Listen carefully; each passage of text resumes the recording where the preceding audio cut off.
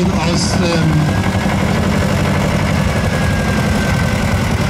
in, in, die Landtechnik, sag ich mal, in Motorentechnik. Mannheimer Produkt, ja. Ja, also ganze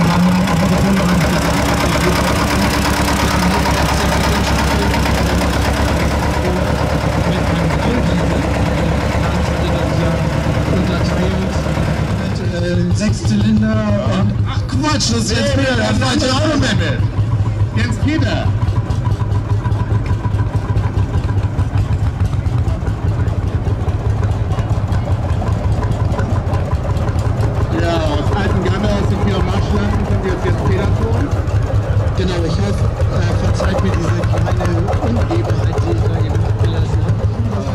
Habe.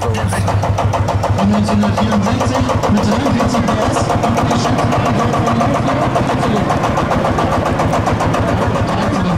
Ja, es werden an die Ohren noch nicht getäuscht.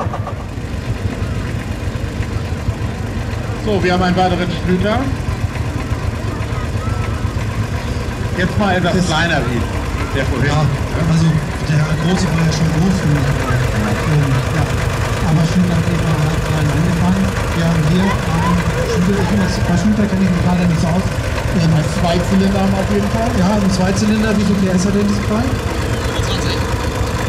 25 PS. Wie seid ihr an diesen Trecker gekommen? Ihr, habt den ja gut, ähm, ihr habt den schön ähm, konserviert.